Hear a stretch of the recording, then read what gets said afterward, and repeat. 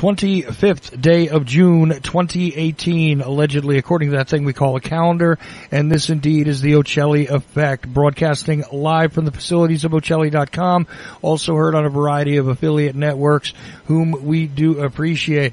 Anyway, this is a moon day or Monday, according to your calendar. And, uh, quite honestly, that is, uh, the beginning of the week of broadcasts here, but tonight we're going to begin something else.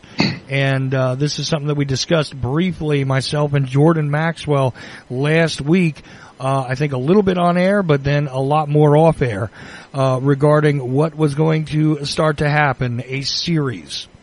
And, uh, this is something that is out of the ordinary. It is not part of the standard set, although for the next couple of Mondays, Jordan Maxwell will be with me. So I'm going to dispense with my normal standard introductions.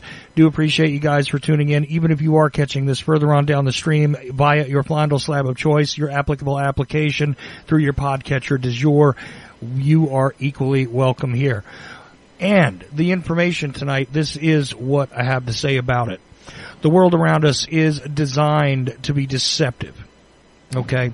Many live in fear and perish for lack of knowledge. Doesn't that sound familiar? Facts are facts. Truth is reality untamed, quite honestly. To educate about truth is an act of love in this humble speaker's opinion. Tonight is the first of a special series, uh, present, uh, uh, presentations, excuse me. We plan to continue each Monday for an unspecified amount of episodes with Jordan Maxwell, unmasking what is commonly called religion. So it is uh, quite literally just with love in my own heart that I step back and present Jordan Maxwell to discuss this particular issue. Jordan. Yes, sir, and thank you very much, uh, Chuck, for allowing me to be on the show. And um, yeah, the subject is such an enormous subject uh, takes in all of human history. Uh, that it's, you know, we've discussed the fact you and I have that it would re- really need to be discussed over a period of of weeks, because I'd like to just talk about the general subject of religion and point out all of the many, many hidden potholes and rocks under the water that you'll not see in religion, and so much of uh, of what we call the religious world today is absolutely uh, it's it's an incredible story of how much people are not being told about their religious belief systems and where they where these ideas have come from, etc. So I've always felt it would be a great idea to just look at the whole subject of religion, no matter which one. There's so many of them. We will, of course, concentrate on the on the big three: uh, Christianity, Judaism, and Islam. But uh, very few people have ever asked themselves, why do we have the big three? Why is there always a big three? The three major religions, and in the three major religions, you have the God of the three major religions is always a triune God. He's uh, always divided into three persons, the one God. and, uh, but, you know, three plays a big important, uh, issue in the secret societies that started our different religions. Most, most people don't know that our religions came from secret groups and secret societies in history that have come up with an idea and promoted it. They had the opportunity to promote it because they had the money and they owned the means of communication. So they promoted it around town and it grew, it grew until finally today we have all the big religions of the world today, never realizing that uh, just about all of the major religions in the world today are the work of secret societies and fraternal orders that you don't even know about, you've never heard of before. So I just, I just felt that it would be interesting just to look at religion. Because there's so much in religion that people have taken for granted, which was not true. I mean, I'll give you a little small classic example. I mean, uh, you you see the Statue of Liberty on Liberty Island in New York. First of all, there's a lot of indication that the Statue of Liberty is not a woman; it's a man. Most people don't know that it's a man, not a woman, and it's not the Statue of Freedom; it's the Statue of Liberty. This is why it's on an island in the water because liberty is a term in international monetary term that means, uh, you know, this is what a sailor gets when he pulls into port on the ship in the uh, in the navy. You ask permission to go up, you know, to go on land. So, if the captain gives you permission, and he may not, but if he gives you permission to go on land, then you have uh, liberty. So you are at liberty to go wherever you want. But, uh, you know, he didn't say you were free. You just don't walk off the ship when you get ready. No. You ask permission. So that's why these, it's called the Statue of Liberty, not freedom. So in America, you're not free. You ask permission. You get a license. You pay the fine. You pay the ticket. You uh, ask the government for permission to do whatever. Virtually everything you do you must get a permit from the government, a license. You pay a fee to be able to do something. So that's what the Statue of Liberty has given to America. You just ask permission. There is no freedom in America. Never has been.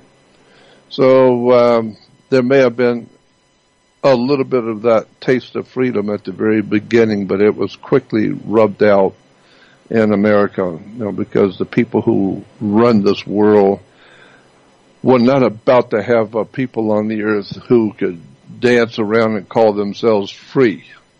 Europe was anything but free. And so the people who ran Europe, remember the people who ran Europe, uh, ran the world.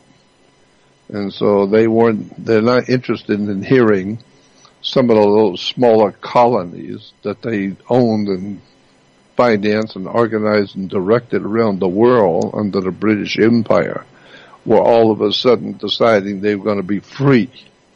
They didn't need to, to uh, ask the uh, British government for anything. They were going to be free people. Well, that didn't last very long. Nobody's going to be free, period.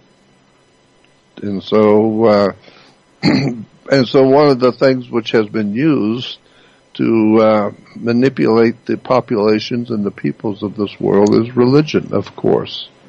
And so I just thought it'd be interesting to look at some of the uh, interesting facts about religion that we're not aware of.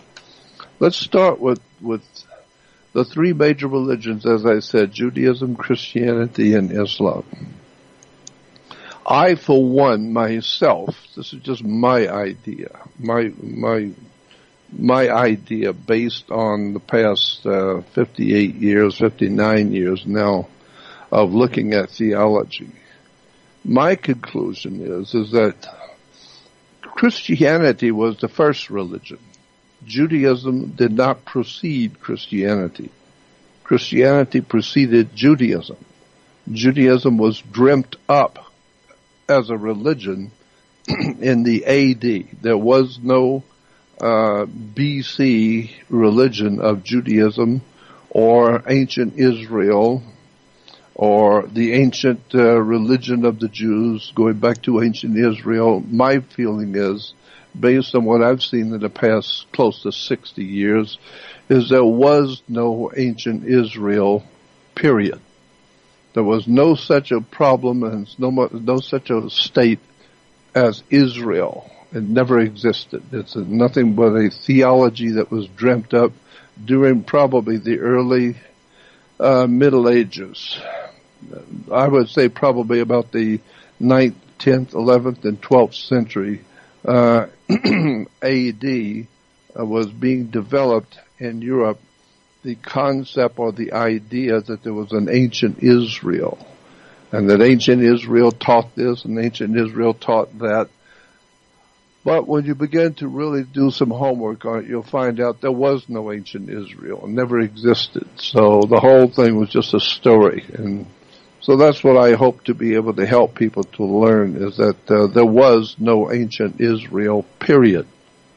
So don't look back to the ancient prophets and the ancient uh, or, uh, the ancient writings because all of those ancient so-called writings of the ancient Hebrews were actually Knights Templar Masonic documents, probably dreamt up during the 8th, 9th, 10th, and 11th century AD in Europe by the Masonic orders coming out of the Roman Catholic Church, Knights Templars, and also then added to once you had the uh, the Crusades when the Pope Innocent sent the the uh, the Catholic uh, Knights of Malta and the Masonic Order of Knights into the Middle East to um, to get rid of the Islamic influence.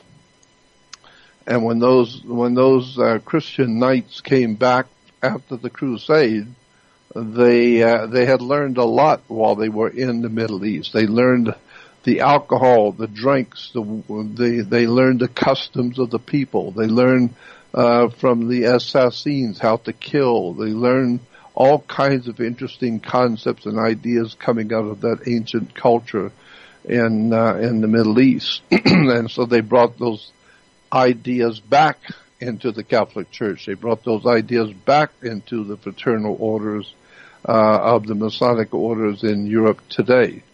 And so a lot of people don't know that uh, that the a lot of the teachings in Judaism and Christianity actually comes from the Knights Templars, the Masonic order inside the Catholic Church that dominated Europe. And of course, you'll have to remember that you know Rome as a as a dictatorial power Rome has dominated the earth for, I don't know, 2300 years.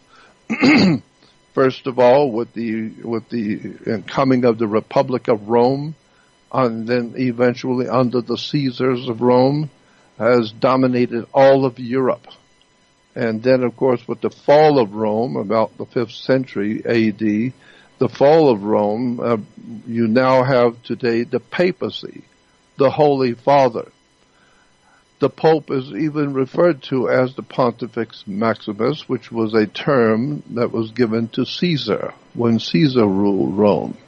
So we still have the Roman Caesar today, where all the peoples of the world, no matter who they are, no matter what their religion, what color they are, they all come to Rome and bow down on their knees and kiss the ring of the God Father.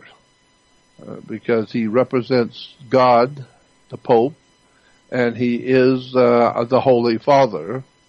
So he's the Godfather. And so when you talk about the mob and the Godfather, yeah, you need to look at the Vatican. That's where the real Godfather rules from.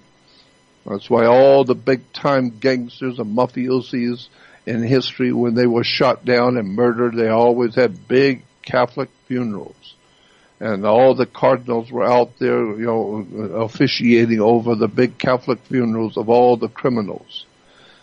And you need to also check and find out why the Pope wears the Jewish yarmulke, the little, the little cap that the Pope wears. We we see it as a Jewish yarmulke, but he's the Pope wears it, and all the cardinals wear the same thing. So there's something going on with uh, the Roman system And so for 1600 years under the Vatican, the Vatican has ruled Europe. Period. All of Europe has been dominated by the Vatican. And for 1600 years, the entire world of mankind has been dominated by Europe. So all roads lead to Rome. Ultimately, the Holy Father, as far back as the fall of the, of the Roman Empire, the Holy Father has been the dominant uh, you know, power in Europe. And Europe has been the dominant power on the earth. So, so much for the, the, the, the presence of Almighty God. And a, professor of mine one time said, when you're talking about these kind of subjects, you need to define your terms. So when you're using words in theology, you need to define what you mean by those words. So when you hear someone talking about God, I always ask, would you define what you mean about God? Because, you know, a lot of people talk about God, but everybody has a different idea about what they're talking about. Most people have no idea what they're talking about. So, my, my first, my first entrance into this whole subject of religion is to look at the words and the terms and the symbols that have been used by different religions of the world and look at the beginnings of things. Go back to the very day it began. And uh, that's the way I like to do whenever I'm looking at any organization or church or philosophy. I like to see who started this idea or who started this church. Where did it begin? Who put up the money? And uh, how is it that we still are worshiping today something that was put up and started, you know, 1600 years ago? And so, in relation to um, Zionism, for instance, if we're talking about religion, let's just let me just bring this little point in about Zionism, because if you go back to the dictionaries, the encyclopedias, and you will find that back as far back as 1820, uh, in the United States in 1820, there was a guy named Mordecai Noah. And he, with other fellow Jews, wanted to set up a Zionist homeland in America. And so they picked this, uh, the, the place of the new homeland back in 1820. They picked at Grand Island, New York. And that was where they began to proclaim that they were going to found the new Zionist home of the Jewish people in uh, Grand Island, New York. Well, 1820s, that didn't work out. It fell through. That was okay because now 1903, in 1903, the British colonial secretary, Joseph Chamberlain, he suggested the to Zionist Theodore Herzl, the, one of the main leaders of the Zionist movement. So back in 1903, British colonial secretary Joseph Chamberlain suggested to Theodore Herzl that he should put the homeland for the Jews at the Mau Plateau in Kenya, Africa.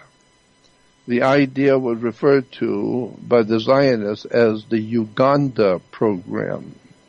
So the, it was pointed out by the by the British to the Zionists, why don't you uh, uh, take your homeland for the Jews and put it in Africa, put it in uh, in Kenya, Africa. But after talking about it and thinking about it, the governments of Kenya and England and the rest and the Zionists, it all fell apart. They decided, no, forget it. They didn't. They didn't need the Zionist homeland in Africa after all, so it was a bad idea. So a couple of years later, in 1905, a large group of angry and frustrated European Jews, not in the Middle East, This was in 1905. A large group of angry and frustrated European Jews formed an organization called the Jewish Territorialists. And their organization was the aim of which was they said they wanted to be the founders of a Jewish homeland of some kind, somewhere. They needed to establish a Jewish homeland on earth and so it was called the Jewish Territorialist Organization, 1905, and they they wanted to just find somewhere for the Jewish homeland. Well, that didn't work either, so it fell apart. so later on, in uh, 1928, in March of 1928, in the then Soviet Union, uh, the Soviet Union suggested that the Russian Far East would be a great place. Uh, it was a great place for the homeland of the Jews. It was very far out, away from everybody. And so the Zionist communists, the communists said to the Zionists, why don't you put your homeland here in the Soviet Union? And so the new Soviet communist idea was called the Jewish Autonomous Oblast. O-B-L-A-S-T. So this particular idea that the Soviet Union came up with in 1928, it, like the other three, it didn't go anywhere. It fell apart and nothing happened. Then in 1930, another brilliant idea was suggested by the British Zionist League. The British Zionist League in 1930 came up with a great idea that in Australia there's a place called the Kimberley region in Australia. and that would be perfect for a Jewish homeland in Australia. So large, so incredibly, uh, you know, large and spacious and it was called the Kimberley region in Australia. And so they decided that was where the new homeland was going to be, 1930 in the Kimberley region of Australia. But after thinking about it for a few, for a few months, the Australian government officials, they said, no, not in our backyard. That, that's not going to work. So that one fell apart again. Later on, shortly afterwards, the Premier of Tasmania, the Premier of Tasmania, Robert Cosgrove, came up with a dazzling idea. He suggested that the homeland for the Jewish people should be in Port Davey, D-A-V-E-Y, Port Davey area of southwest uh, Tasmania. now this is the Premier of Tasmania, Robert Cosgrove, and he said why don't the Jews put their homeland in, in Port Davey in southwest Tasmania? That would be a great idea. But he died shortly after after the suggestion, and everybody everybody decided, ah, forget it, it's just a bad idea anyway. So that didn't work either. But finally, the the Zionist uh, the Zionist leaders finally had the correct idea. They finally got a good idea. The Zionists, the Jews that were setting up the homeland for the Jewish people, God's chosen people. Well, they decided this time they were going to go to the Lord. They were going to ask the Lord to help them. And so the Lord, uh, you know, did help them and their, and their homeland was set up. So it was a smart thing after trying so many times and falling through. They finally went to the Lord and the Lord did help them set up the state of Israel. So the Zionists went to Lord Rothschild, their Lord, Lord Philippi the Rothschild. And Rothschild, the Lord of the Jewish uh, Zionists, he called one of his uh, prostitutes named Lord Arthur Balfour. Everybody in England knew that Lord Arthur Balfour, one of the big politicians in England, was nothing more than a than a uh, Rothschild, uh, you know, behind kisser, butt kisser, and that's all he's ever been. And so he was appointed uh, by the British Israel Israel Illuminati Masters of the World to be the one to go to the United Nations for Lord Rothschild and present this idea uh, to the United Nations to have the British home uh, to have the Jewish homeland uh, in the in um, the Middle East and what we call the land of Canaan. And so they went into Canaan and just took it over. They didn't ask permission. They didn't ask anybody. They just went in with the British guns behind them with the American military and government behind them, with the international Rothschild money and banking fraternities behind them, the Zionists went into the Middle East and just decided we're going to take over a piece of land in the Middle East and we're going to call it the land of Israel and we'll, we'll say that God gave us this land and anybody who don't like it will kill them. Period. So we're tired of asking permission. And so that's why today we still have today the land of Israel, God's chosen people, which is nothing more than a Rothschild banking United States, British banking fraternities with their military behind the founding of the state of Israel. So So much for the holiness in the Middle East, because I have been saying for years, and I'll say it again, there's nothing holy in the state of Israel or the Holy Land. There's nothing holy in the Holy Land. Uh, the reason why is because all the stories coming out of the Holy Land are full of holes. And so once you see that the Israel today is nothing more than a political Rothschild United States British Empire political move on the world stage of which behind the scenes the Vatican and the international criminal syndicates uh, are are behind the military movement in the Middle East, and so it's a very very dark story about the whole whole idea of the Lord's chosen people.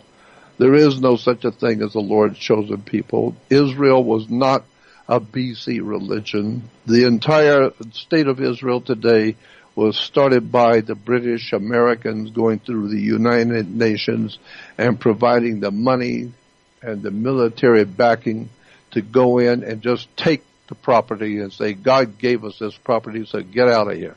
We're taking it over. so much for God's chosen people.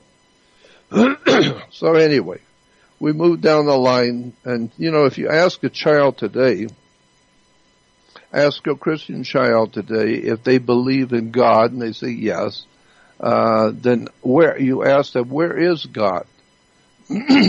Where does he live? Excuse me. and so you ask the child, where is God? And they will point straight up. He's out there. He's in heaven.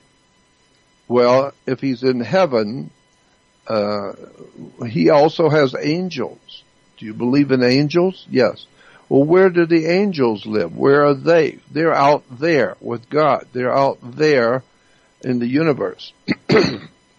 So I don't know if you know this or not, but if you are from out there, like God in the angels, then you are extraterrestrial. But if you're from Alabama or, or, or live in New York or you were born in Canada, then you are terrestrial, meaning you're from this earth. But we are to understand that God and the angels are not of this world, so that means they're out there, they're extraterrestrial.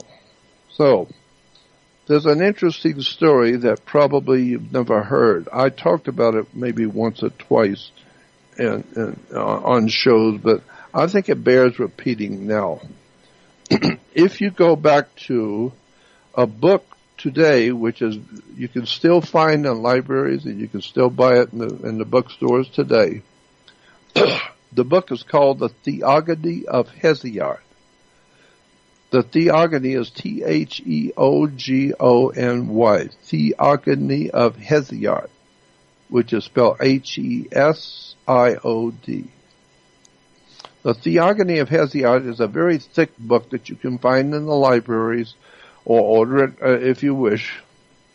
You can still get it today.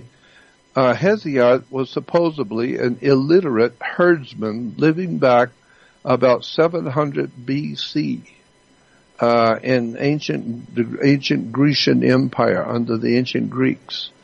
And according to Hesiod, who was an illiterate herdsman, he was he said that in his book, The Theogony, he said that one night while he was out looking over and watching over his uh, his sheep, uh, that three angels, three separate angels, were glowing uh, glowing angels, they floated up to him. He said they didn't walk up to him. It was as they floated in the air up to him.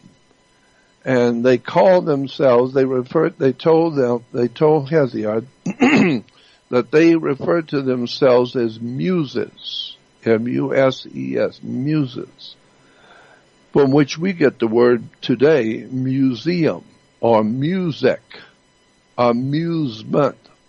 M-U-S-E, muses were the three angels that appeared to Hesiod, uh, 700 BC.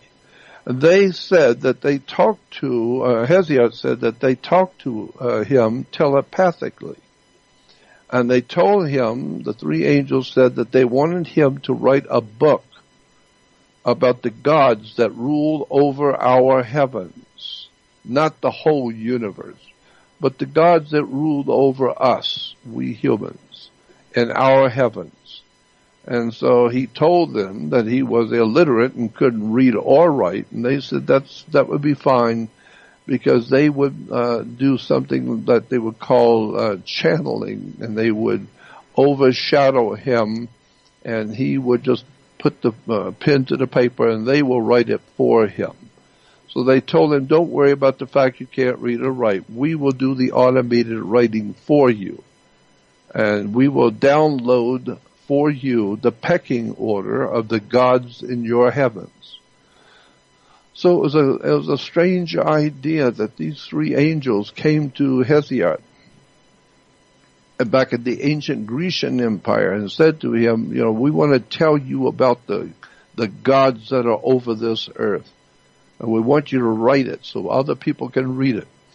And he said, I'm, I'm illiterate and I can't write. So they, they did the writing for him. And so it was called uh, channeling. We still have the same kind of thing happening today where spirits will overshadow uh, a person and talk through them. So anyway, they said, then they went on to tell him that the God over our particular solar system in the Milky Way, the Milky Way galaxy we're part of, and I do mean a small, tiny part of, but we're part of the Milky Way galaxy. And the muses, the angels told Hesiod that in our galaxy, uh, in the galaxy, we have something called our, our solar, solar system. And there is a God who has been appointed to be over our solar system. And he is the God over all human life and on the earth. So when you hear humans talking about God, the muses said that God's name is Zeus. Z-E-U-S, Zeus. And Zeus is the God of the earth, and he is the one that has created mankind and has the full dominion over the earth and all life on it. And so later we find out uh, from the angels that Zeus lives uh, on a floating city. They call it a floating city in the universe uh, and just outside of our solar system, that Zeus, our god, uh, lives in a floating city in the constellation, in a star constellation of Cassiopeia. So there we have our God over the earth, according to the theogony of Hesiod, our God is Zeus, and he lives in a floating city, and the and, and it's in a section of the star system called Cassiopeia. Very interesting.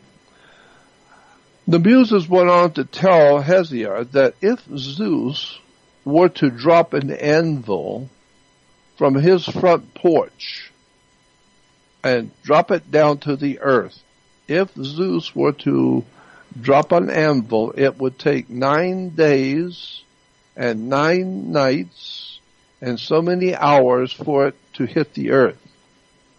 Well, it's fairly easy to calculate that distance at which an anvil would fall.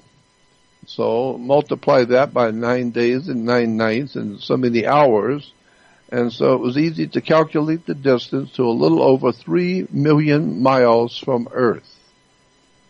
And so according to Hesiod and the three muses or the three angels, Zeus lives a little over 3 million miles from the Earth in a star system called Cassiopeia. And Zeus is our Father who art in heaven because he's up there in heaven. A little over 3 million miles up there. And so our Father who art in heaven is Zeus. And hallowed be thy name, Zeus.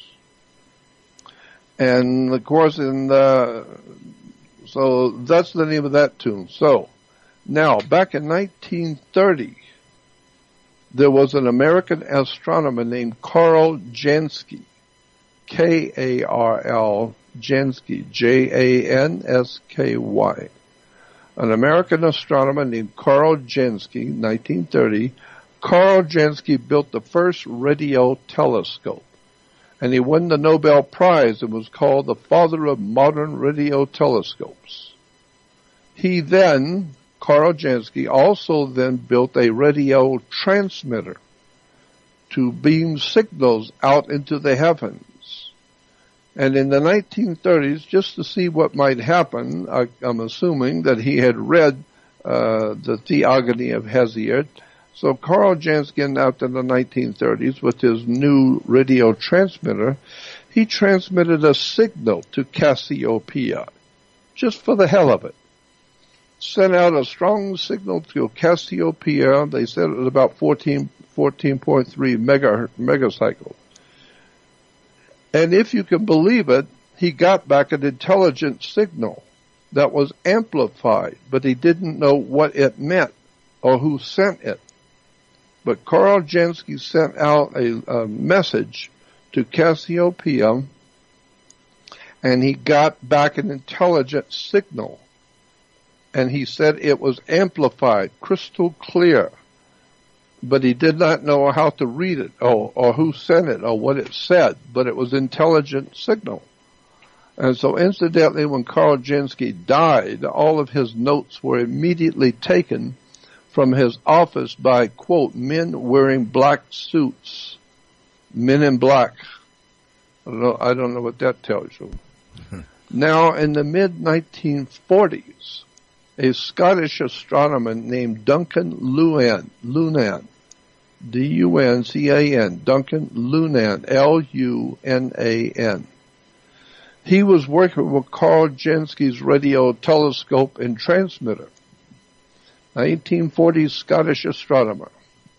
And he too decided to send out a signal aimed at Cassiopeia just to see what would happen. And he too got back a signal about 20 seconds later, both intelligently and uh, both intelligent and amplified. And he didn't know what to make of it either. He couldn't understand it, but it was highly intelligent and it was amplified crystal clear, intelligent answer. He just didn't know what the answer was.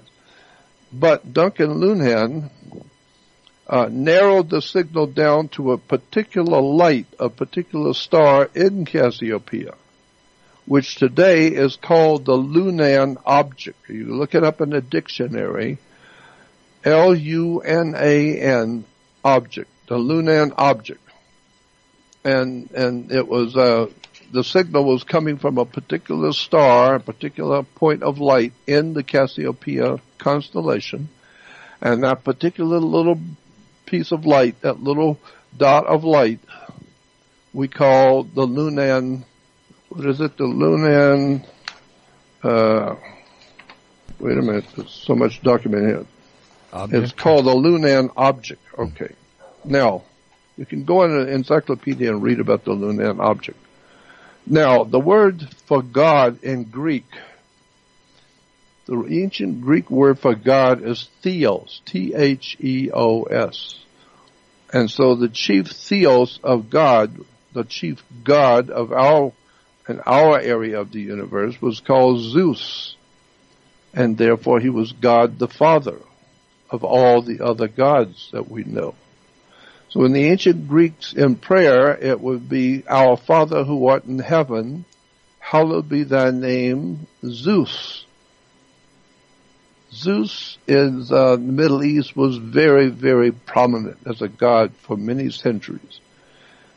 In the Middle East, they have a canal named after Zeus. It's called the Suez Canal. Suez is Zeus spelled backwards.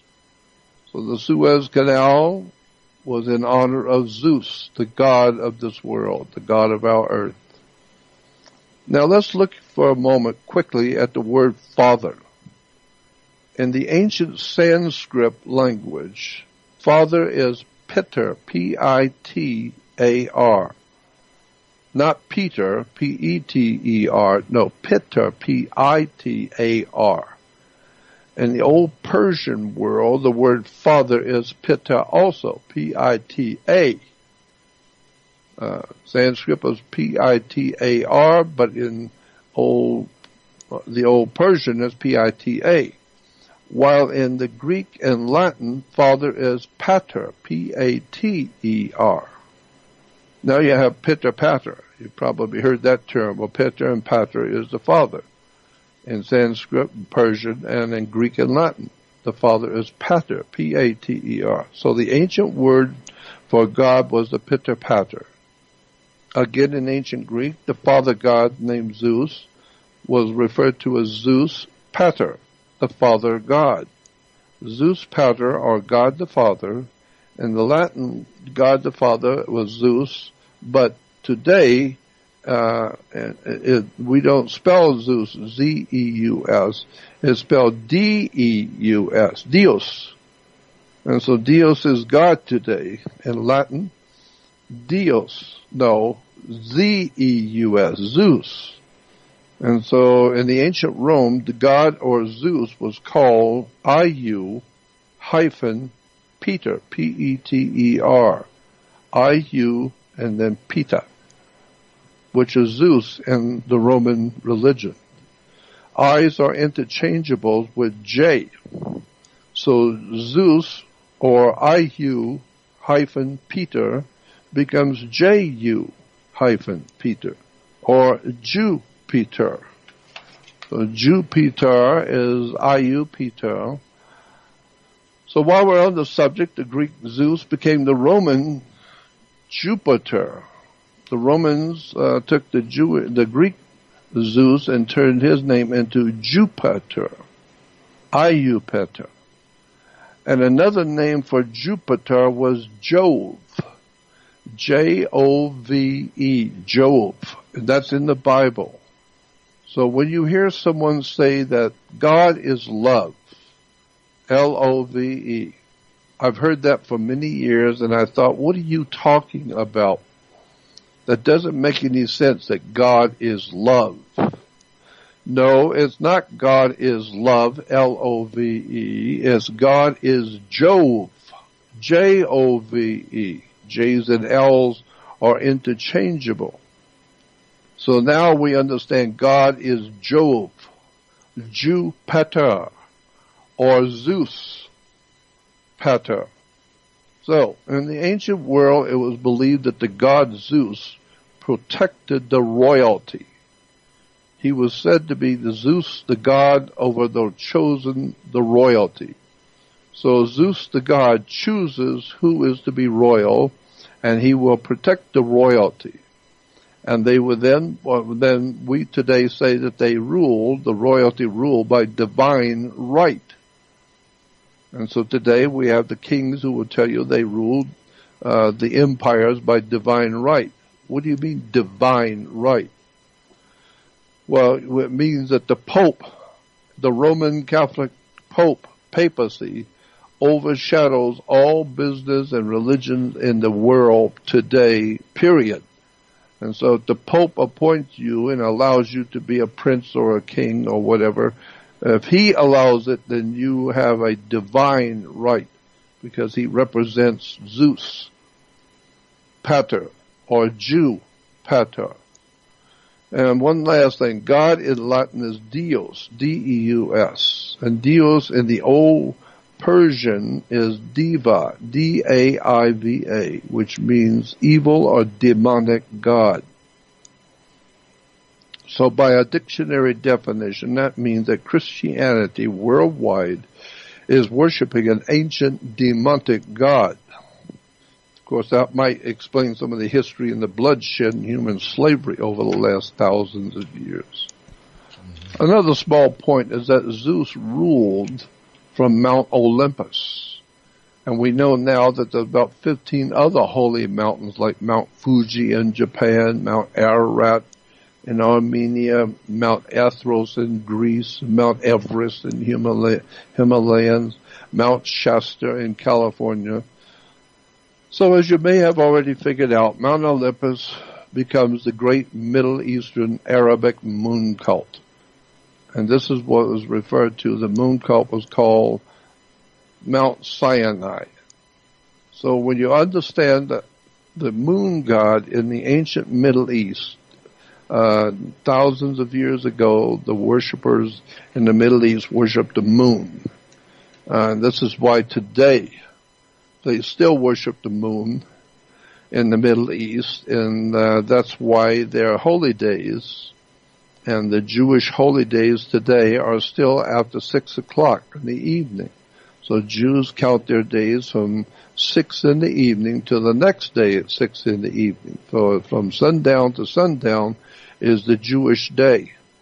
While Christians are worshiping the sun, God's sun, the light of the world. Of course the sun's the light of the world. So the Christians who are worshiping the sun are, they, they count their days from the sunrise to the next sunrise. Well, Jews count it from the sunset to the next sunset. Why? Because in the Middle East there was a worship in the ancient world of the moon god. And the moon god came, he lived in the mountains. So if you were uh, on the, uh, if you were in Egypt or on the Sinai desert, uh, west of the Sinai, you look every evening and the east, look every evening in the east and about six o'clock the moon would come up uh, from the mountains. There's a high mountain range in, in Sinai. So about six o'clock the moon would come up behind the mountains. So to the ancient people, the moon worshippers, they said the moon was their god. And that he lived, obviously, he lived in the mountain. Why? Because every night, every evening at six o'clock, he finally wakes up and comes to see the world. And so it's at six o'clock the moon god comes out. So that's why today the Jews are still worshiping the moon god and have their holy days after sundown. And they will even tell you they have a lunar calendar. Of course they have a lunar calendar because the very word Sinai comes from the moon god's name. Go look this up in a dictionary. Go look this up in, a, in any dictionary. Look up moon god in the ancient Middle East, and his name was Sin, S-I-N. That's not a word that we use in Christianity for the falling short or, or uh, doing something bad and you, you know, and you committed a sin. No. Sin, S-I-N, was the name of the moon god in Arabia. That was his name, S-I-N. And in the ancient Arabic tongue, it goes back to the mountain of the moon god. And the mountain was Ai. And so you put the god of the mountain, Sin, in front of his home, the mountain Ai, and it becomes Sinai. So Mount Sinai is Sin Ai, the mountain of the moon god Sin who lives in the mountain Ai. So when we hear all these wonderful stories about Mount Sinai and, and the holiness of the Israel, and then you come to find out that actually, no, if you go back and do some research, you'll find out that, uh, no, the God was sin. He was a moon god. And, uh, so his worshippers during the Middle East, uh, you know, would worship him after six o'clock in the evening because that's when the moon god comes out. And so there's where we get the uh, the holiness of the of Israel and our holy holy days of Israel today is after six o'clock. They have holy days after six. Why? Because of the moon god's sin. That's why if you go into Egypt, if you go into Israel today, you're going to a synagogue, S-I-N. In America and England, it's S-Y-N, but in, in, in Israel, it's spelled S-I-N synagogue. Synagogue is a house of the worship of the god Sin, S-I-N, the moon god. So, you know, let's understand that, that the whole of Jewish, Jewish religion is based on the ancient moon god Sin, and uh, and the whole idea, the house of sin was the house of synagogue, and that uh, all of this goes back to the old ancient moon worshippers and the holy days after sundown and all that kind of thing. This just opens up a small portion of a bigger, bigger story. And so we'll have a lot of things to talk about in the future in relation to the general idea of Judaism and Christianity Where did they come from and what are some of the background of the teachings of both the Jews and the Christians? Where does it all come from? Now we also well, right, Jordan. At this point, right, because we're we're actually coming very close to the end of the first hour, and I think this is an excellent place to actually break off a little bit early than I normally would. But I mm-hmm. think this is a a perfect spot to stop. One thing that I do have in my mind uh, from the beginning of what you said, though, is uh, very shocking, and that is that uh, I have always been taught and always been taught to accept the idea that Judaism preceded Christianity and uh, you have an idea that it did not. And uh, this is very interesting to me. Um, and and I, I, I, do believe we'll we'll have to get some more history on what has brought you to that idea. But right. uh, but honestly, uh, thus far there has been a whole lot of information, and I would tell the listener if you're not taking notes at this point, you may want to go back and listen to the first hour again because uh, you know, the, the, the ideas and the entire structure of what is being laid out here is fully organic. I, I have said very little in this first hour because that is the design of what it is we are going to do here uh, just for people's notification, so they understand why they haven't heard from me. I didn't fall asleep. I didn't go away. I didn't leave Jordan all by himself without him knowing what he was going to do. This yes. uh, was absolutely intentional. So we're going to take yes. this break right now. Let Jordan get a drink and resettle, and also all of you to try and absorb what has already been discussed here in the first hour of the Ochelli effect. Uh, we'll take this break for as long as Jordan wants to, so we and we'll be abbreviated right break back. there there uh, at a natural break point, as I said during the uh, the time when we did it. And Jordan Maxwell is with me, and he is doing the first part of a very special uh, discussion regarding religion in general. Now, we're not sure how many parts this series will have, but this is only part one. And uh, for the most part, people might notice, like I said, I have been rather silent. That will continue to be the condition here, and uh, we will take breaks at a natural point where I think uh, they need to be, and that's the way it's going to happen here. This is going to flow very organically, not very regimented, but uh, extremely well textured and layered in a lot of information, uh, some of which quite frankly, I have never heard before. I have never uh, quite fully grasped before.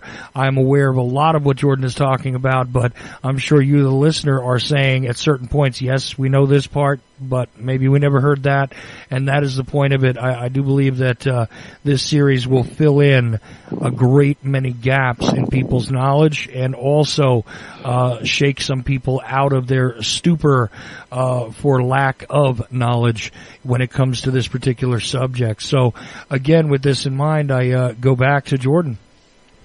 Well, thank you very much. Um, there is really uh, uh, like I said, I, I don't believe that there was a BC religion called Judaism. I don't think that there was anything uh, before the 9th, 10th, 11th, and 12th century AD in Europe.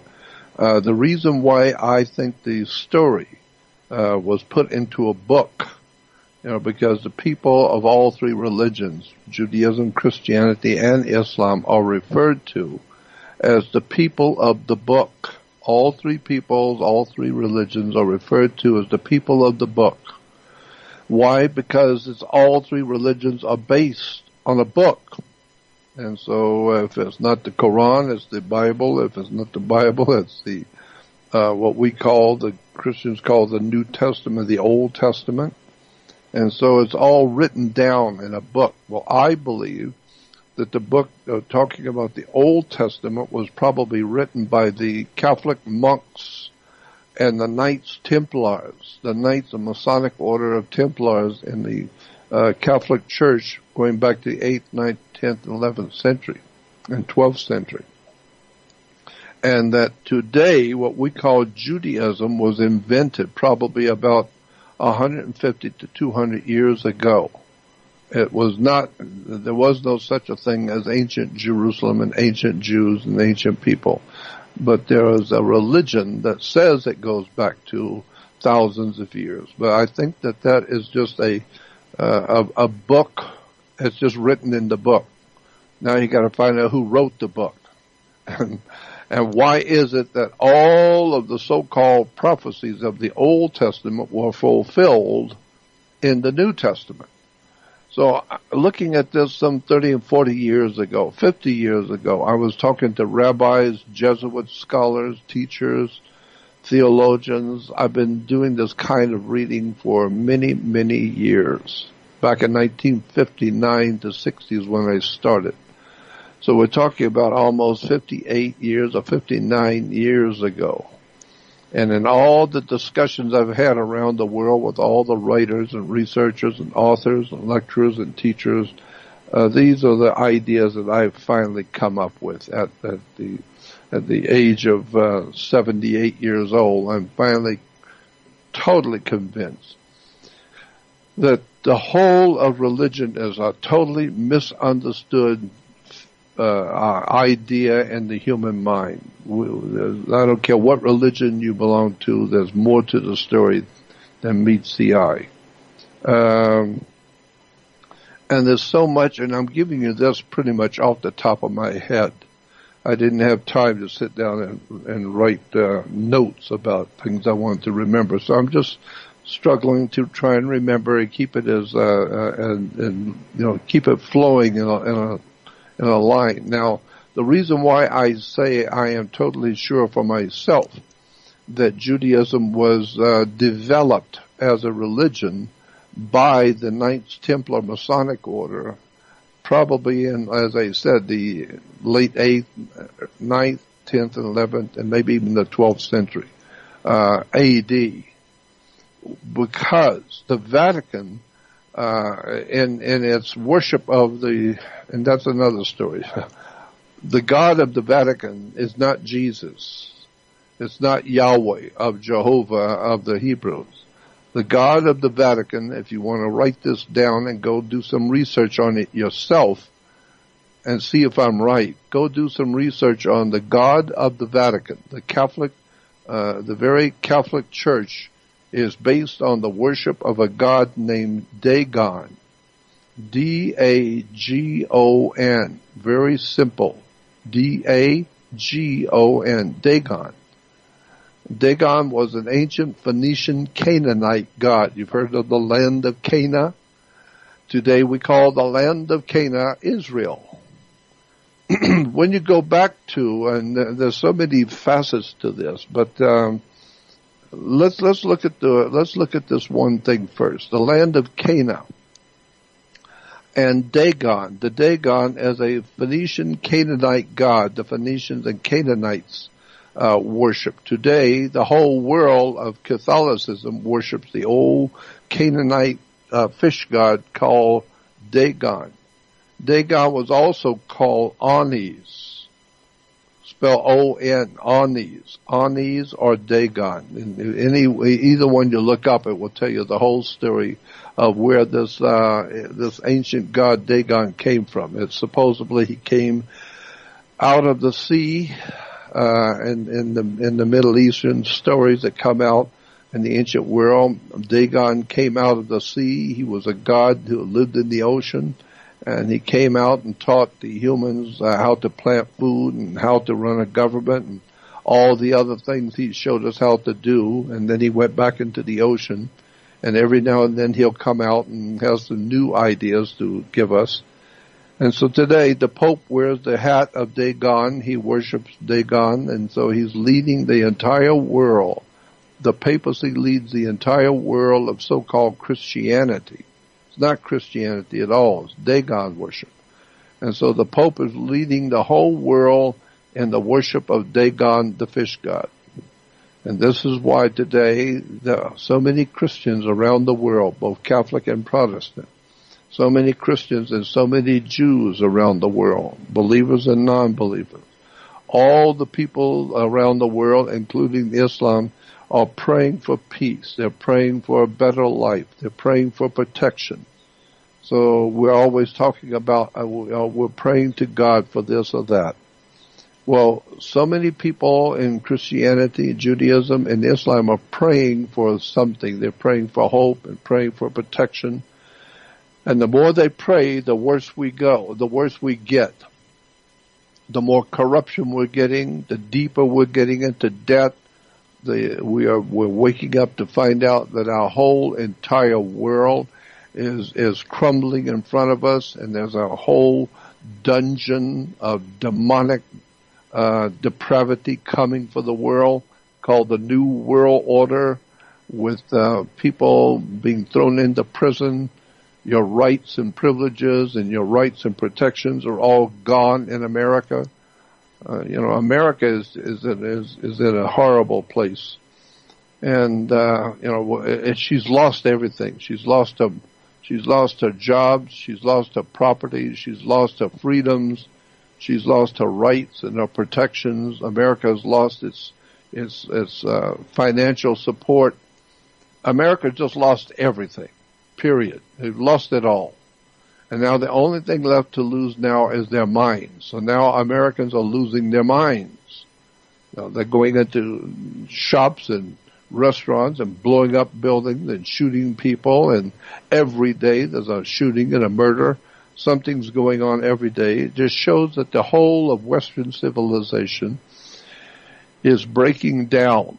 It's falling apart. Why? Because they have built uh, their their worship on things which they did not understand, and they're ultimately going to wake up and find out that the entire world of Christianity, Judaism, and Islam are all based on the worship of demonic depravity gods of the ancient world and we never realized what was going on. We never knew. We just were born and raised into a system and accepted it and nobody ever read anything, nobody questioned anything.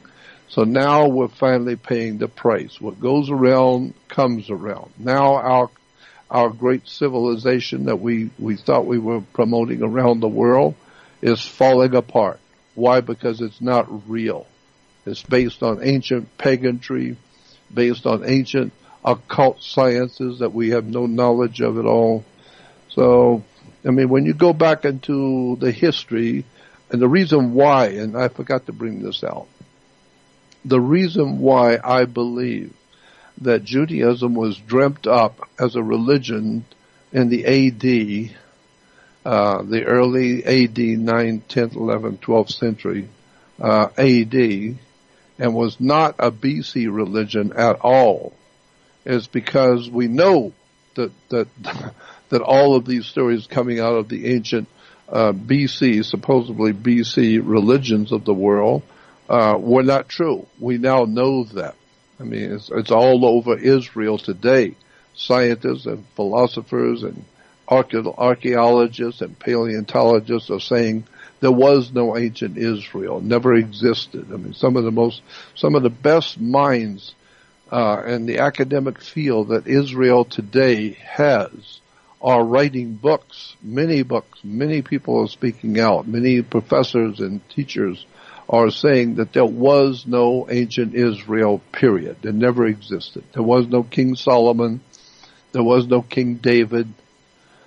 One of the earliest uh, Bibles I had, and I can't remember what it was because I've you know, I've had to move so many times, and I've lost it. But there was an old Bible I had that's everywhere uh, in the Old Testament uh, that I would call the Old Testament.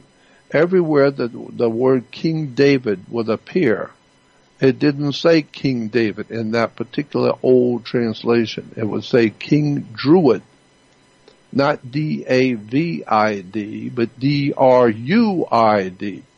King Druid, not King David. And so I began to look at the connection between the Druids and, and the Jewish religion. And then I come to understand, very simple if you just look at it, the Jewish religion is the Druid religion. Druidism is Judaism. Period. All of the, all of the ancient, uh, dressing, the, the, the priests, the high priests, uh, the, the, the, the clothes that the high priest wore, the words, the terms, their temples, the way they set up their religion in the ancient, uh, and the, and so-called ancient, uh, Druid religion is everything is Judaism. It's all Jewish, so-called Jewish religion today. It's actually a Druid religion. And what were the Druids? Well, the Druids were before the Roman Empire even existed. In Europe, before the Roman Empire even existed, there was already millions of people living in Europe. And, and the Roman Empire hadn't even started yet. And so there were already a lot of uh, people living in that area covered by the Roman Empire. And they were covered, uh, and, and it took in northeast, west, and southern Europe. So the Druids were a people which we call the Europeans, or today is called Caucasians or the white man. And uh, so the white man or the Europeans or the Caucasians were Druids. And so this was a religion before the Roman Empire. And so uh, one of the most important symbols in the Druid uh, world of, uh, of life in Europe, and of course the Druids ran all of north, east, west, and southern Europe which is incidentally where we get the word news. N-E-W-S is north, east, west, south. N-E-W-S, news, comes from the, the four corners of a continent. So, uh, so the Druids were a very powerful presence in Europe. So if you were a doctor, a lawyer, or a politician, or a teacher, or anybody who had important positions in society. You were a Druid if you were in Europe. European, white man, Druid. And so you were, and so the Druids were a very powerful priesthood. Now, one of the most important symbols in the Druid religion in Europe was a magic wand. Like Merlin the magician, uh, and, and today we even have the orchestra leaders uh, who wave their magic wand when conducting an orchestra. Uh, the the waving of the magic wand, or Merlin the magician from England. So magic wands were always made out of the wood of a holly tree. It's made out of Hollywood. And once you understand that Hollywood is nothing more than a so-called Jewish establishment, no, Druid establishment. And then you find out that there's a very big important connection between the Druids and the Germanic peoples. The German peoples, they gave us all kinds of Druid religious uh, belief systems and, and, you know, Christmas and the holly tree. Uh, all of this is a European Druid system of life and government. And today I am telling you, you may find this very difficult to believe, but if you do your homework, you will find out I'm right. And I've talked with many, many scholars in the field who are far better than I, and they, they have all agreed that I am correct in my assumption. Uh, you will find that what we call the German people today, Germany and the German people, the German presence in Europe, is the same as the Jewish presence in Europe. In my book, the Jewish and Germans are one and the same thing. The Jews are the Germans. Or the Germans are the Jews. And so there's a dark, dark connection that most people have never even thought of that that connects the Jewish idea and the Jewish philosophies in the world, and the Jewish religion with the Germans. And the Germans and Jews share a lot of things that you never even thought about. And well, so, let me just interject here real quick because they, they yep. do call it magic in Hollywood, right? It's Hollywood magic. It's kind of right there in your face what it is. Uh, so this makes a lot of sense when you think about the common vernacular. But one thing that uh, you, you passed over a couple of times, and and uh, the basis for these religions at this point, coming from something that seems to have been authored by the Knights Templar in one way or another, um, I think it is uh, appropriate to describe what uh, the Knights Templar actually were, because many a theory and many an examination has gone around regarding this, uh, and I've got to tell you, a lot of it is very misinformed, a lot of it is very misleading. Uh, you know, even the fact that today there is an organization that still calls itself the Knights Templar. Uh, which is yep. under the Masonic orders, uh, just like you know the the Freemasons and these other secret societies. It still exists, and yes, they have their, you know, uh, uh ostensibly their public face where they do charitable deeds and things like that. Um, but I happen to know that that organization still exists, and uh, but but people misunderstand. I do believe the uh, the history of it and how it is that. Uh, what what what were they called technically speaking uh, the the holy knights of the poor man or something like this uh, yeah. allegedly? How is it that they would come to do this and you know precisely what are the knights templar? Well, I think that uh, the Knights Templar, uh, as you say, is true. It's a very big subject, and it's been uh, been used as the basis for the Indiana Jones uh, movies, the uh, Raiders of the Lost Ark, and uh, and the the Last Crusade. And they talk a lot about the secret societies of Freemasonry in Europe and all that kind of thing. So it's a very big subject. But the reason I'm saying that I believe that the uh, that the church, the Vatican, came up with the idea of Judaism. I think it, it came up with this idea and promoted it. Why? Simple. The Vatican is now presenting itself to the world to be the solid focal point of world Christianity representing the Almighty God on the earth.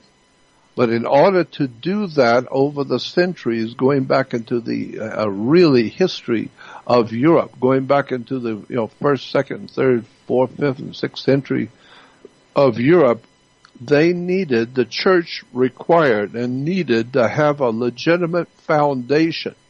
If you're going to build something, you gotta have a good foundation. You build on concrete. You build on something that's sturdy you don't build on sand. And so the church was building on sand. It has no official connection to God at all, has no official connection to anything at all. It's just an ancient cult worshiping Dagon, the fish god, and the Phoenician Canaanite god of Oannes.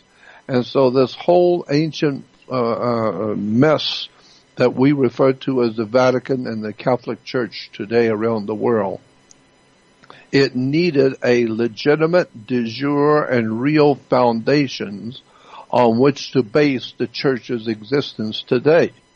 So if the church were to come into existence and just out of the out of the ordinary, just popped in one day and said, "We represent the Almighty God," and that's the way it is for the whole world. Well, there's too many people would would immediately reject that. You just you just popped into town overnight and now you're going to be the, the one who actually represents the Almighty God? On what do you base that incredible assumption that you re- represent God? So they have to, the church had to come, uh, they had to come with a, with a story based on an ancient civilization that was ancient, uh, you know, thousands of years ago. And so it's not just the Catholic churches today is the ultimate authority on the earth representing God. No, no, they, they base their position on the ancient world. And going back into the ancient world of the ancient Hebrews and the ancient God of the Hebrews and and and and all of the holiness of ancient Israel and all of that stuff, which is all all which is nothing more than creating a story just like you could create a story about your family and talk about all the wonderful things they did and how they set up governments and they were this and they were that. And that's why you should be considered today, you know, to be so holy and righteous because of your family. Then we come to find out, no, your family was just like everybody else's family. They didn't do any of the stuff you said. But if you can, but you know, if you can control the news media and radio and television and the printed page during the Middle Ages, you could propagandize the whole world into believing that the Catholic Church sits on the ancient foundations of the Jewish revelation, the Jewish people, God's chosen people, and the holiness of Israel and all of that nonsense is nothing but propaganda that never existed. And today, like I said, there are, there are paleontologists, archaeologists, and scientists and teachers all over Israel itself are writing books about how there never was an ancient Israel. The whole thing was a was a story. There was no King David. There was no King Solomon. There was no temple. There was none of it. It's all just a story to give the Catholic Church and the Christianity uh, a, a, a solid foundation upon which to say we are the, the, the we're the carriers of the great legacy of the ancient Hebrews and the ancient God of the Jews. They were God's chosen people and today we are the Christian fulfillment of all of that today. When actually, no, the entire superstructure of Western civilization is a religio, political, financial, uh, military empire that has no basis with God or anything decent or anything holy. It's just basically sex, drugs, and rock and roll. It's a military industrial complex. And then when you begin to see how the, you know, when watching movies like Godfather and got the third one in the series, Godfather 3, where the mafia is actually in the Vatican dealing directly with the so-called Holy Father.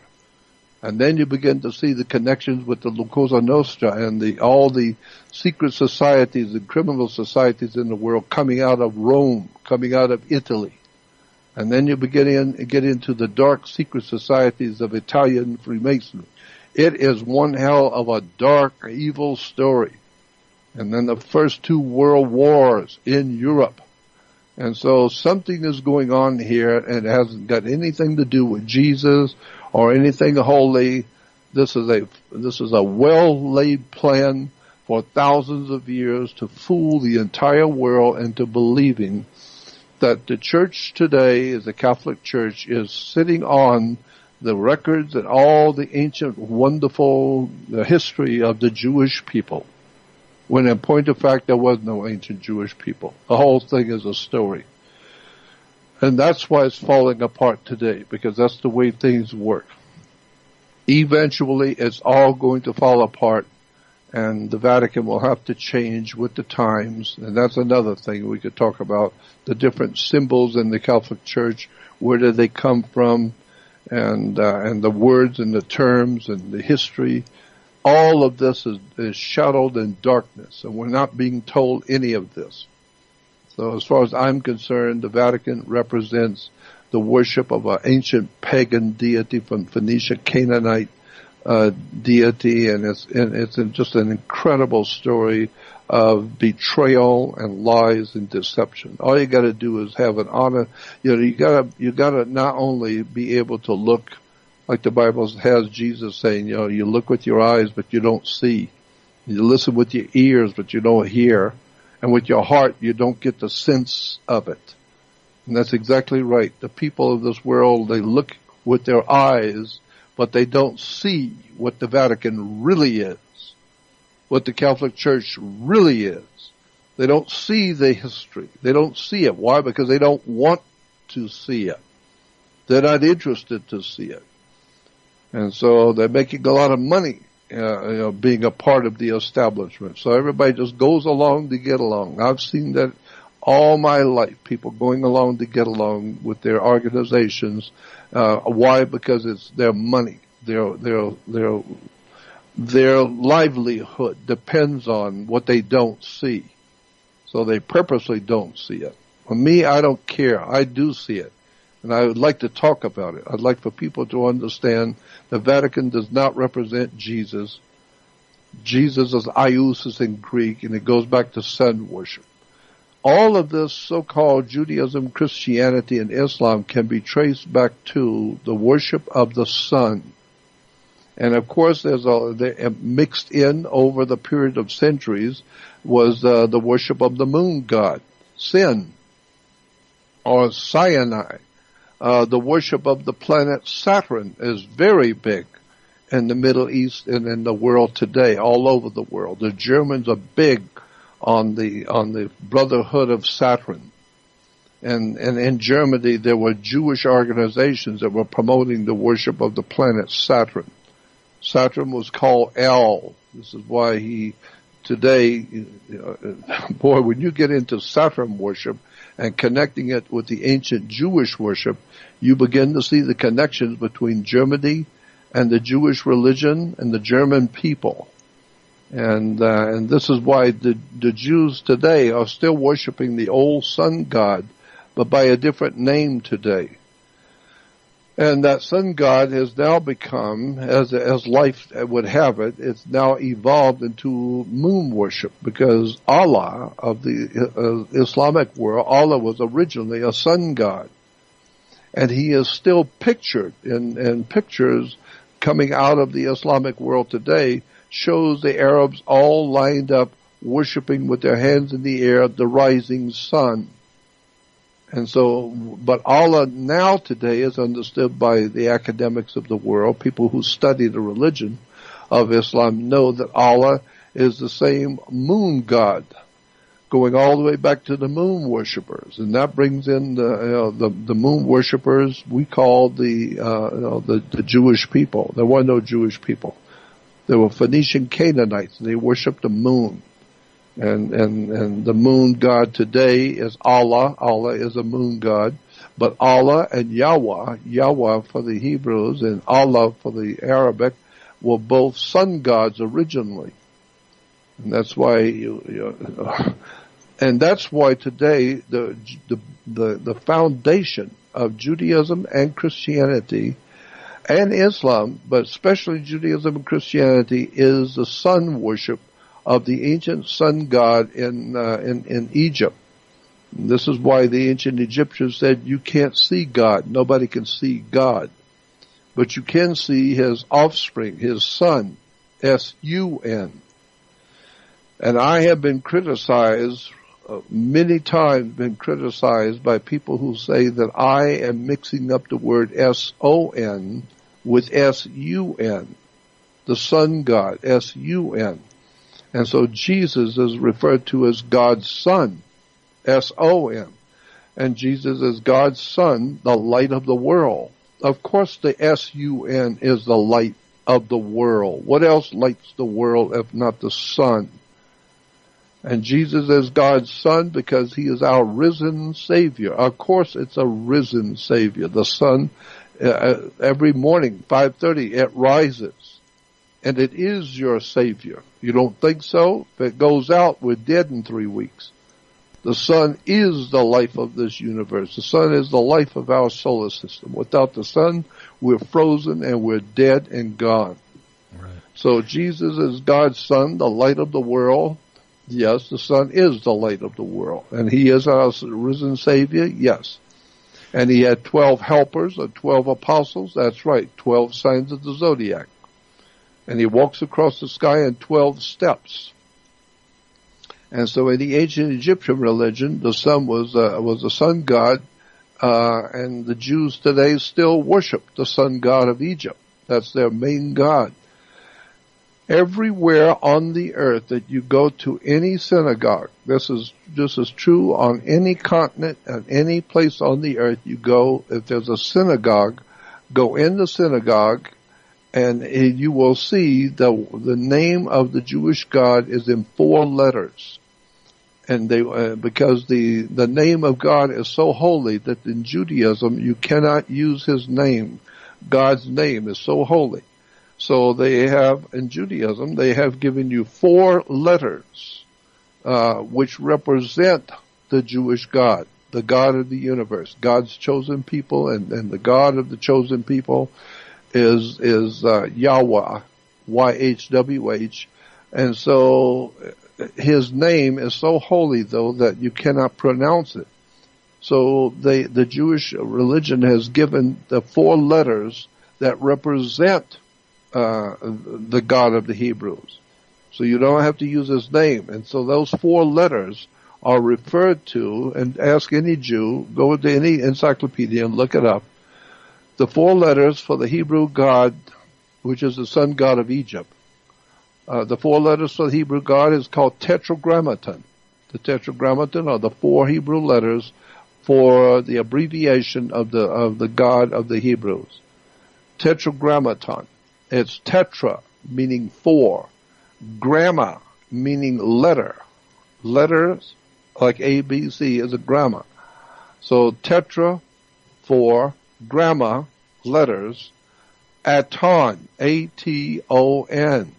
Tetragrammaton, A-T-O-N is the god Aton in Egypt. Look up the word A-T-O-N and then look at the last four letters and the tetragramma Aton.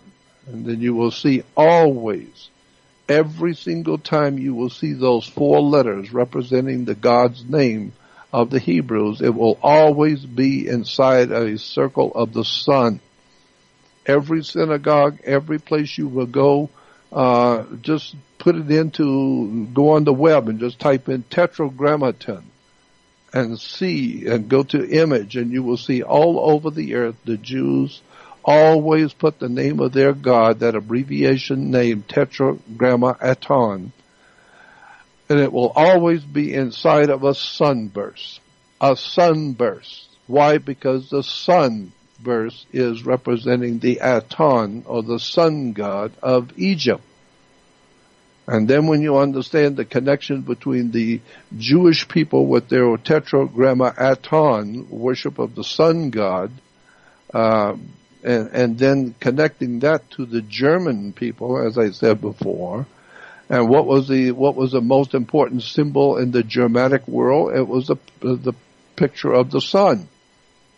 And then uh, Adolf Hitler used the sun also, the Aton symbol, and he called it the swastika. Well, if you don't realize this, you may not know this, but in Israel today, if you go to Israel today, there are certain synagogues in Israel that are very old. They go back hundreds of years, but they all have on their floor a big, huge swastikas on the floor of the of the uh, synagogues in Israel. So the Jews were using the tetragrammaton, or the symbol of the swastika, on the floors of their uh, of their sim- of their synagogues. A very a very obvious connection to Adolf Hitler, using the symbol of the swastika, which is a sun symbol, the sun symbol of the Aton. Get it? Tetragrammaton, the sun worship of the sun god Aton in Egypt. Go look, go look it up in a dictionary or encyclopedia and you will see both the Germans, the Germanic peoples, the Christianity of today, the Jewish people, all of these uh, in Western civilization, all over the world in the Western civilization are worshiping the Aton, the symbol of the sun god of Egypt, the Tetragrammaton. So wake up and understand why it is that people are praying for peace and praying for their families. And the more you pray, the worse it gets because you're worshiping pagan gods. And that's all you've been given is the pagan deities, pagan gods. The Aton from Egypt, the fish gods of Phoenicia Cana, the Vatican, Protestant Christianity is nothing more than one of the offsprings of the corporation. The United, the, the Vatican is a corporation, and so is the British government. The British government is a corporation. The United States is a privately owned company. It's a corporation. It's a municipal corporation incorporated in Delaware. It's no longer, we're no longer the United States of America. There is no United States of America. We are the United States. Go look it up in the dictionary. Do something really strange you've never done before. Go read a book and you will find that the United States of America, the, the republic that was founded back in 1776 died and is gone. It no longer exists around the world. People uh, and, and politics around the world know the United States of America does not exist. There is no such uh, there is no such place. There is a place today in North America called the United States. It's a corporation. It's a company, a privately owned company. And you need to find out who the the owners of the United States Corporation are. It's an incredible story. But uh, in 1871, uh, after the Civil War was over, if you think about it, the Civil War was one of the bloodiest wars mankind's ever fought. And so it was a civil war in the United States. Well, after the war was over, uh, this country was anything but united. We were here and we're all eating, but we're not united. So the, we're no longer a united states. We've been very disunited. So one half of America is killing the other half. So we're not united states. Right, all true. So you know, Jordan, it's interesting because you said in Western religions you see the sun, but uh, quite honestly, in Eastern religions, you see sun worship as well. The swastika existed, uh, according to archaeological studies, to, in to the, the, Hindus and the Buddhists. Hindus and the Buddhists. Plus, I mean, of what course. do we call Japan today? The land of the rising sun, is it not? That's right. Uh, mm-hmm. You know, so I, I think sun worship seems to be uh, something that has gone around the entirety of the planet. Uh, it has. In one way absolutely. or another. Uh, absolutely has. Absolutely. Yeah. Now, another thing that you'd mentioned, and I'm sorry to interrupt again, but you know, I, I think right. this is very relevant, is that uh, you mentioned the uh, the god El. Now, I have often heard the term Elohim, right? And uh, I, I've heard that used by more than one individual, and I wonder if you wouldn't uh, address that. Yeah, yeah. Let me do that. Let me talk about that real quick. Uh, in the, uh, first of all, in Hebrew, uh, there is no Hebrew religion. I mean, there is no Hebrew language. First of all, understand there is no such a thing as a Hebrew uh, language. Uh, there are people that we call Hebrew, and they speak a particular language. And since we call them Hebrew and they're speaking their, their own language, we call that language Hebrew. But there is no Hebrew language. That language is not Hebrew, it's Hebrews speaking it. so it's like in America. We all speak American here. No, we don't speak American. We are Americans, but we speak English. Well, the Hebrews do not speak Hebrew. They speak a Phoenician Canaanite tongue. It's called Phoenician Canaanite. And so that language, the Hebrews speak it today, and so we call it Hebrew. No, it's not Hebrew. It's a Phoenician Canaanite, and the Hebrews are speaking it. So, you know, wake up and get a get an education. The Jews are speaking a Hebrew language, while Hebrew is not Hebrew. It's a Phoenician Canaanite language, and that's why in in the when you connect it to Germany, uh, the German and the, and the Germanic world, the Germanic people, they are also Jewish, but they are speaking Yiddish, which is a German Phoenician Canaanite, you know, combining German with the Phoenician Canaanite or Hebrew. So once you understand there is no such a thing as a Hebrew language. There's a Phoenician Canaanite language that the Hebrews speak. Now, if you, uh, in the Hebrew or Phoenician language, God is El. El is God. Well, if you look up El in a religious dictionary or any dictionary, you will see that El is the name given to God in the Middle East. And El, of course, was also uh, uh, also understood to be the planet Saturn. Saturn was referred to as El, that that beautiful planet out there with the circle around it it's called El in the ancient Middle East. They didn't call it Saturn. And so El or Saturn uh, and the Phoenician and some of the uh, um, other languages in the Middle East, they refer to uh, El uh, as the uh, or the planet Saturn, I should say. They refer to the planet Saturn as Shabbath. Shabbath is S H A B B A T H. Shabbath. Shabbath is Saturn. Saturn was referred to as Shabbath. And go get a dictionary and look up Shabbath, and it will tell you that is an old Phoenician Canaanite so-called Hebrew word for the planet Saturn. S-H-A-B-B-A-T-H, Shabbath. So if you're going to worship the planet Saturn, then you you set aside a day and it's called the Sabbath. No, not Sabbath. Shabbath. Shabbath was the god of the Sabbath. And so you have a, a rock group called Black Sabbath. That's exactly right. Black was the color associated with the planet Saturn. And Saturn was called the black planet, the dark place, the dark force. And this is why today judges wear black robes. Uh, you know, Darth Vader wears a black robe. Uh, you know, Dracula wears a black robe. Catholic priests wear black robes. When you graduate from university or high school, you wear a black robe. Black robes represented the planet Saturn, Shabbat.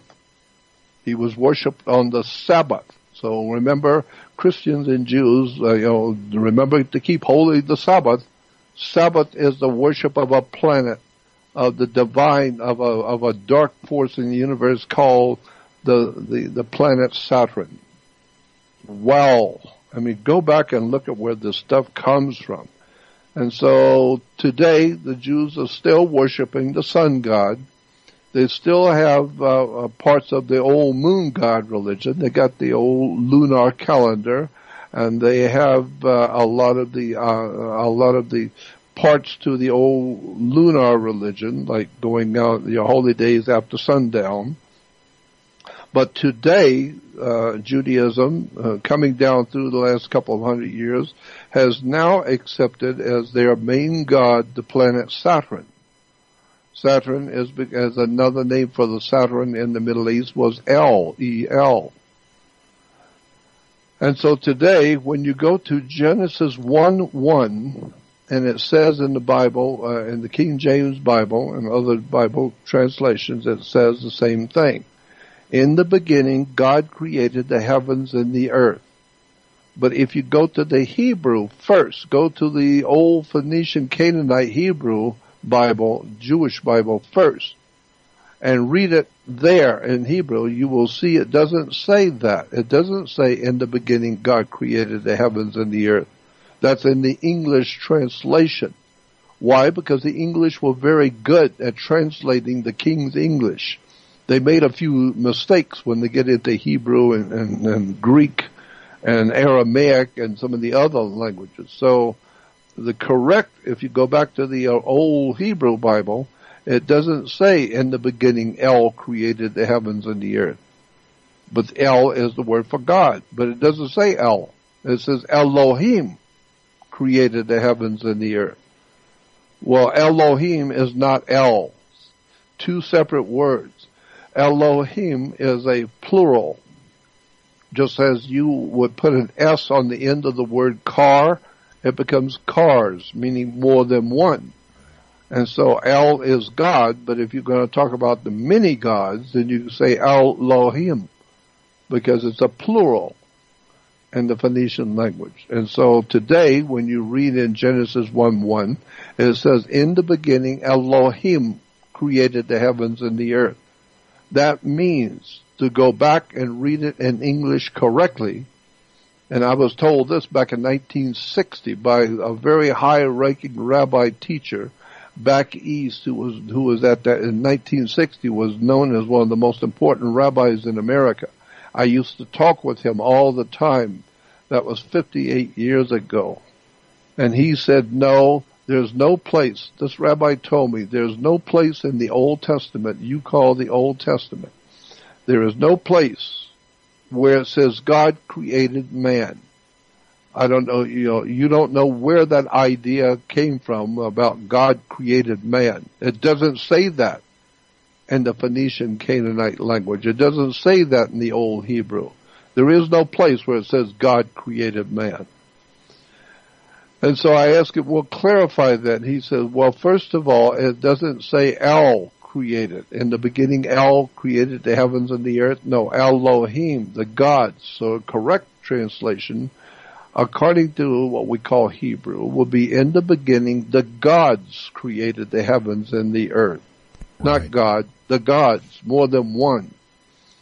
And then when they were creating Adam and Eve, uh, the gods collectively, they said, come let us make man in our image after our likeness. And I said to the rabbi, well, doesn't that mean that the God has created man in his image and likeness? No. No, not at all. You're reading it wrong. Go back and read it correctly. What it is saying, Genesis 1 1, in the beginning, and in Genesis 128, when God, the gods are creating Adam and Eve, it says, Come let us, who is us? Let us make man in our image after our likeness. And I said, well, there it says that God is making man. No, it is not. Go back and read it correctly. It is, if you read it correctly, here's the way you would read it. In the beginning, God created, the gods created the heavens and the earth. Then in Genesis 128, when they're creating Adam and Eve, it says, the gods, more than one, the group of them, they said, come, let us make man in our image after our likeness. Not make man, man's already here. So let's make man in our image, after our likeness. Which is basically saying, let's play with this, this thing we call DNA and the, and the reproduction of life on the earth. Let's cross genes and genetics with one of the female uh, Neanderthal creatures here. Some of these creatures are roaming around on two feet and they look like uh, you know they look like animals. Well, they they live like animals. They eat each other and they live like animals. But come, let us make man in our image, after our likeness, which implied they were crossbreeding with the with the creatures that we you know that were already here, and they were creating a different kind of creature. And so that different kind of creature was what they were creating in Genesis 128. And then later on in the uh, couple of chapters more, it says, uh, the, the God says, now, now look what has happened. Now here we have created man in our image after our likeness. And now look, he's like us. Man has become as one of us. He's fighting like we, uh, like we fight. He's chasing sex like we do. He's eating and, and killing like like we do. Uh, he's uh, we we created him to be like us. Well, he's like us now, and now you're going to have to deal with him because you put too much intelligence into him. Now he's no longer just an animal. He has become as one of us, knowing good and evil, meaning he knows what he's doing. Now he's creating rockets and lasers and atomic bombs. See what you've done? You have you have crossbred into this uh, into this uh, life form on the earth, and now you've created them like us. Now we've got a problem. We're going to have to deal with these people now because they're getting smart. There's nothing they can't do. If they get together, they're going to be a hell of a problem to us. And so the, the scripture says, in the beginning God created the heavens and the earth. No, Elohim, the gods.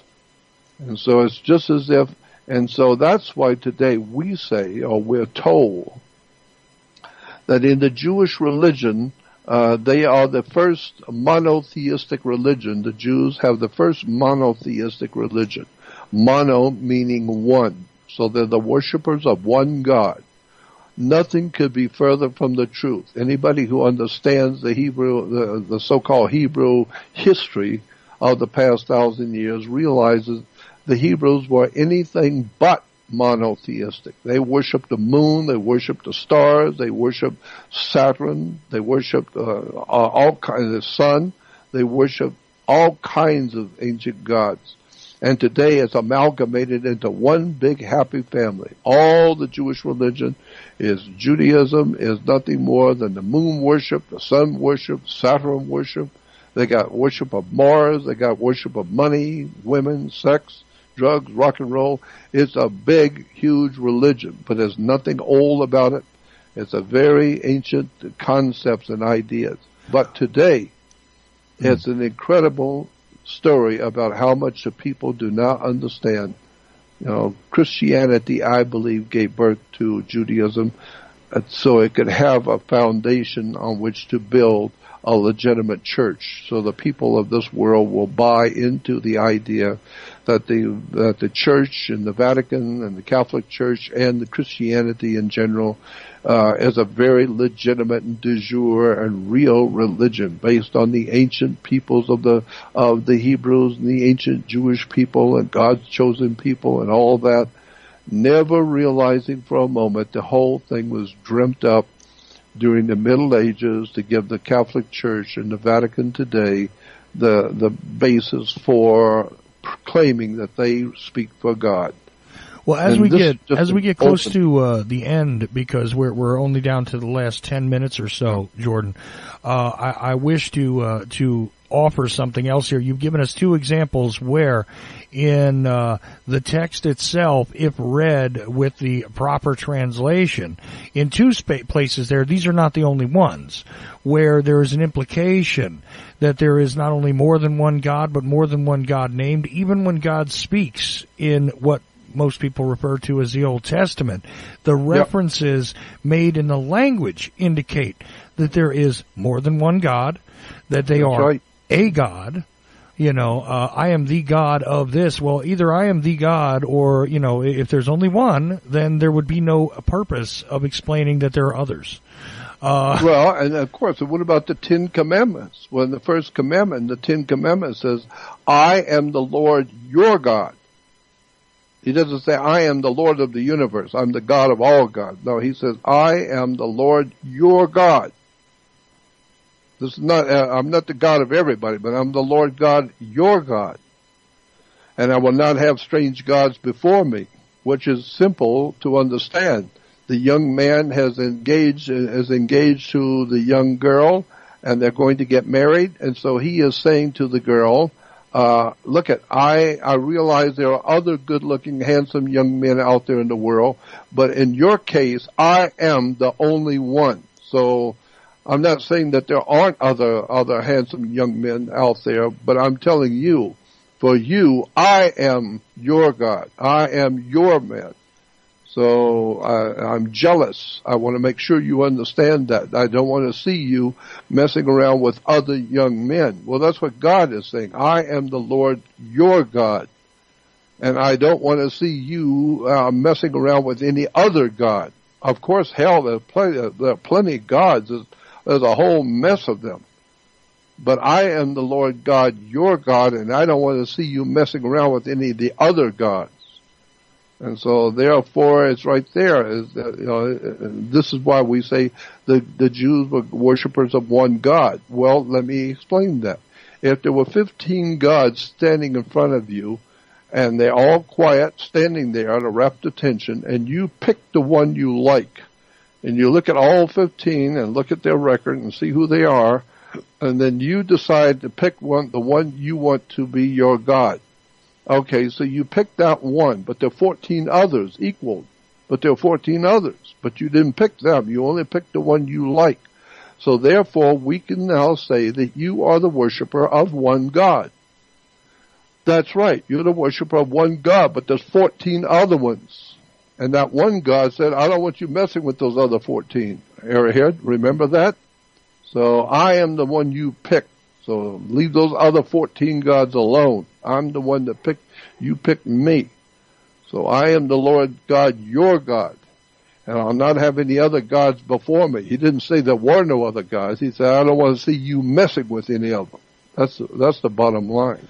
Right. So that, that that is, but but it's right there in the language, Jordan. It's it's yeah, not as though, and, and, it's funny because when people discuss this, uh, that's why I brought up Elohim because I have stated before and basically been called, you know, many different names for explaining that right there in your text.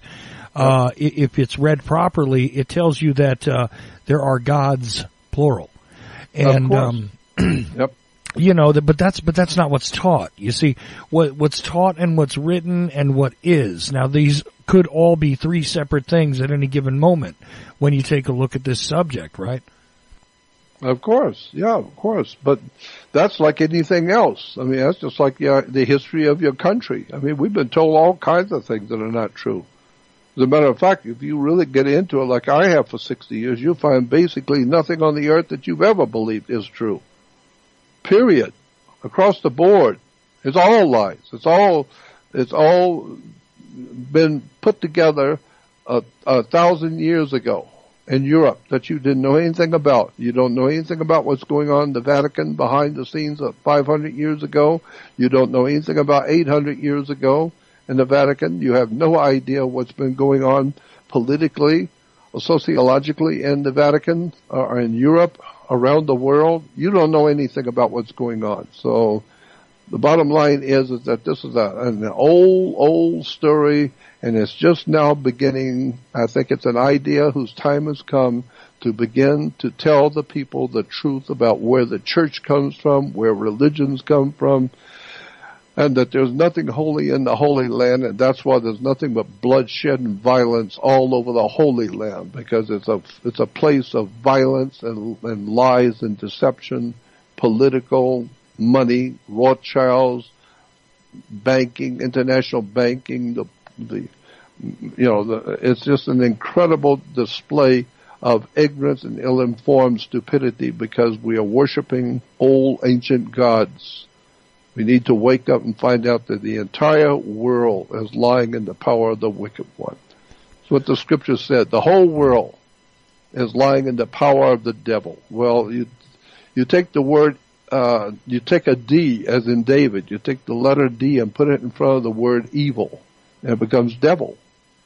And you take one of the O's out of the word good and becomes God. God is good and the devil is evil you begin to see how the whole world has been led. And see, we were born as little babies and we grew up never realizing that the adults around you were little babies and that they grew up into big babies. And so they just go along with, what they were taught and other people go along with what they were taught and the whole world goes along with whatever their culture has taught them. So that today nobody knows beans about nothing. Nobody understands Nobody realizes we've all on the face of the earth been lied to, deceived, and you haven't even scraped the surface. We got a lot more to talk about in things, you know, times to come. Well, absolutely, and I do believe the time has absolutely come for this conversation, but unfortunately, this will be uh, just about the end of the first part of this series. And uh, I urge you, you the listener, to go to jordanmaxwellshow.com. That's jordanmaxwellshow.com because that is the only website that is Jordan Maxwell's. Uh, and that's all there is to say about that. okay. Bottom line, yep. jordanmaxwellshow.com is where you go. Um, now, obviously, this isn't uh, all about promoting Jordan's work necessarily tonight because this is a special presentation, and uh, we did uh, keep a very narrow focus. I'm uh, grateful to see in the chat room that. Uh, a chatter states that this is uh, one of the most blasphemous pieces of banter they have ever heard. Uh, I want to say thank you. And um, Jordan, you know, uh, uh, blasphemy against that which is blasphemous almost sounds like doublethink, doesn't it? Mm-hmm. I mean, you know, the truth is always, you know, uh, I think the the uh, the great Egyptologist uh, Gerald Massey said it best. He said, "They, meaning the religious people, they, they are going to find it difficult uh, when they find out they have accepted the, the authority as truth rather than the truth as the authority. And people do not like uh, uh, being told that they are wrong. You know, children in school don't like the, having to stand in front of the class and find out you didn't do your homework and everyone's laughing at you because you don't know the answer and you don't know this or that because you were ignorant and ill-informed and you didn't do your homework. Well, that's the same way Christians and Jews today feel. They, they don't like uh, learning for the first time what they've accepted as truth is now being shown that's not the truth. Now they have to deal with it, and it's going to obviously mean that they have not done their homework, and now they're unhappy that you are now, uh, you know, bringing a light. I mean, uh, that's all there is to it. You were sound asleep and somebody came in your bedroom and woke you up, and now you got to deal with it.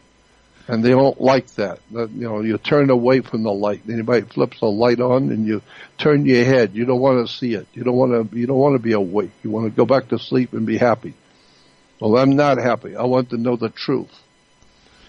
And right. like the movie said, you can't handle the truth. So I know there's a lot of people in this world can't handle the truth. Me, I learned to handle it a long time ago.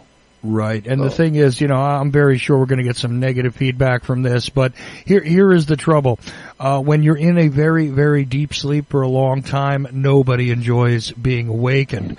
However, sometimes it is necessary to be woke up when there are many the things is, to do. The ship is sinking, yeah. and if it's an emergency, which I do believe we have reached that point as a yep. species, that this is an emergency, this is a time to wake up because it is time to take measures and it is exactly the appropriate time to rip the veil away, so to speak, yep. not just peek behind it, but rip it away and take a look at what's actually happening uh, yep. uh, to this this family you know, of going, human if, beings. Go if ahead. you're going to church, you are referred to as a believer. How long have you been a believer? Are you a believer? I'm not a believer. I want to know. So I don't don't don't expect me to be a believer. I go to the library and get a reference book and read the encyclopedias and read the history of the churches and finally you'll see what I saw and what everybody else sees if you bother to look. Well, that's it. If you bother to look, and I know you have if you have been listening to this show again, this is only part one of a special series of presentations from Jordan Maxwell.